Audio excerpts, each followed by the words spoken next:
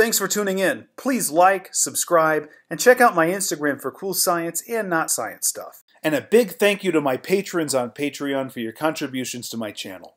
Welcome back to Catalyst University.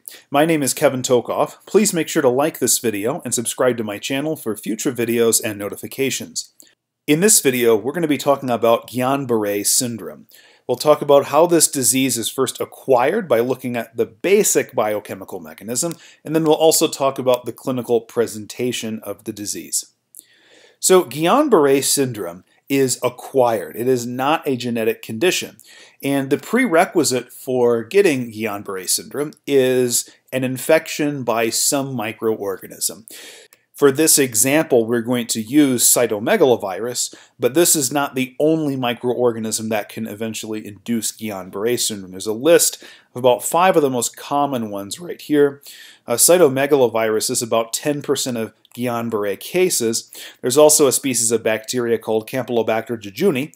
That's the majority, about 30% of cases. And then these latter three have been associated with Guillain-Barré syndrome. So the Epstein-Barr virus, varicella zoster virus, and Mycoplasma pneumoniae.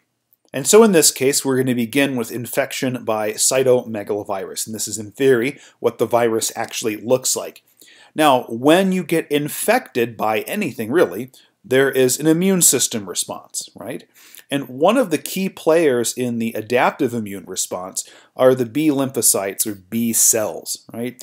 And so whenever you have an active infection, these B cells start proliferating and some of them differentiate into plasma cells. Plasma cells are specialized B cells that can now start actively secreting antibodies. And then those antibodies then go and tag whatever it is that you want to destroy. So the plasma cell will then start producing antibodies. So here's your antibody, right? So any cytomegaloviruses that are currently in the body, plus potentially any that might invade in the future, these antibodies bind those viruses or bacteria in some cases, as we saw a minute ago, and mark them for destruction. And that's the basis of the humoral immune system with antibodies, right? Now, in reality, this antibody is very, very small compared to these viruses right here. Okay, uh, really, what the antibody's binding is an individual protein on the surface of the virus. And that protein in this context is an antigen. Remember, antibodies bind antigens. Okay, and what the antibody does is it looks for something that resembles that antigen. And so, in theory, this antibody should only be able to bind antigens belonging to the cytomegalovirus, and in that way, the antibody is very specific. But what happens if there's a second antigen somewhere else that structurally resembles the proteins on the surface of the cytomegalovirus. Well, then the antibody might actually also bind to that antigen. And that's actually the basis of Guillain-Barré syndrome. So here is a neuron, which is part of a nerve. Okay?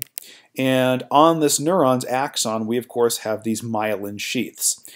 Well, it turns out that there are proteins associated with these myelin sheaths that are structurally very similar to the antigen on the cytomegalovirus that this antibody binds.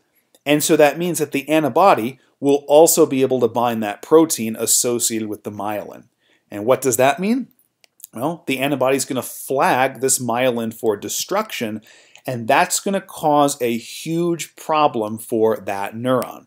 Because if the myelin sheath starts getting attacked, well, then the myelin's going to be destroyed. Now you have exposed axon here. So that's going to do a couple of things. One, it's going to slow the rate of of action potentials going across this axon, right? Because there's less myelin. But also there's going to be secondary damage to this axon and overall damage to the entire nerve. So again, in Guillain-Barré syndrome, it's acquired because you have a prerequisite infection by one of those aforementioned microorganisms. And their antigens look structurally similar to proteins associated with myelin of our neurons. And so when your immune system starts making these antibodies, they may potentially bind to proteins of the neuron and mark that neuron for destruction and that's Guillain-Barré syndrome. Now, Guillain-Barré syndrome is different than these other three motor neuron diseases that we talked about in previous videos. So, amyotrophic lateral sclerosis or ALS, post-polio syndrome, spinal muscular atrophy. These three conditions are motor neuron diseases. So there's not going to be any sensory changes with these three conditions because sensory neurons are not attacked, only motor neurons are attacked. So in Guillain-Barré syndrome, it's not just the motor neurons that are attacked, it's the entire peripheral nerve. And so what do peripheral nerves contain? Well, they contain both motor components and sensory components. So we're going to expect to see motor issues, and we are going to expect to see sensory changes, so paresthesias, neuropathic pain, things like that that we would not expect in any of these motor neuron diseases. Okay? So how does Guillain-Barré syndrome present? Well, first I'm going to jump all the way down here and say that the progression is extremely rapid. It does have the potential for recovery, but all these impairments that we're going to see come on pretty quick and progress very rapidly. So first of all, the sensory and motor loss pattern is in a distal to proximal fashion. So if you're talking about the lower extremities, the feet, intrinsic muscles of the feet are going to lose uh, their function first. You're going to lose sensation in your feet first, and then it's going to travel up to the ankle, the lower leg, the knee, and so on and so forth. And you can make the same argument for the upper extremity. It would begin in the fingers, then the hand, then the wrist, then the forearm, and it's going to progress upward toward the hip and shoulder girdles respectively. And this type of loss pattern is what we term a stocking glove pattern, because remember, you put stockings and gloves on the distal parts of each extremity. And also, the loss pattern is symmetrical.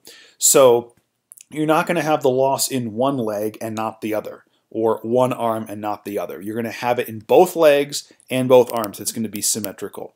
And again, you're going to have a variety of motor and or sensory deficits because it's a peripheral nerve condition. Peripheral nerves contain both motor and sensory components. Now, does this affect the central nervous system? No, this does not affect the central nervous system. This is affecting peripheral nerves, which are part of the peripheral nervous system. So the neurological signs that we're going to see are going to be lower motor neuron signs. We'll get to that in a few minutes.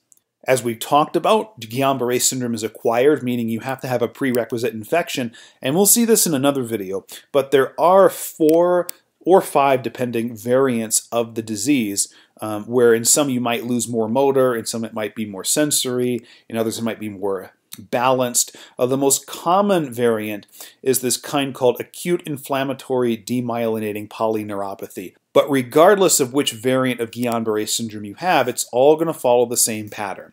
You're going to have distal to proximal loss or stocking glove loss of motor and or sensory function.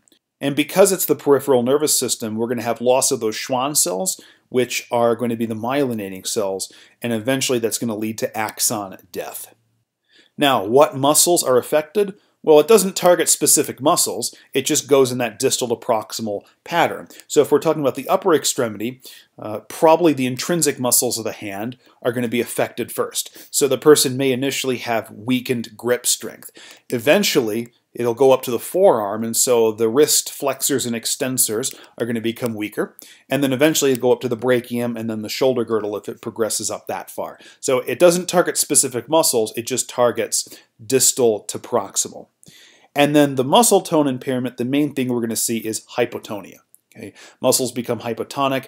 Uh, if you tested reflexes, you would probably also see they'd be hyporeflexic. So we're just looking at lower motor neuron signs.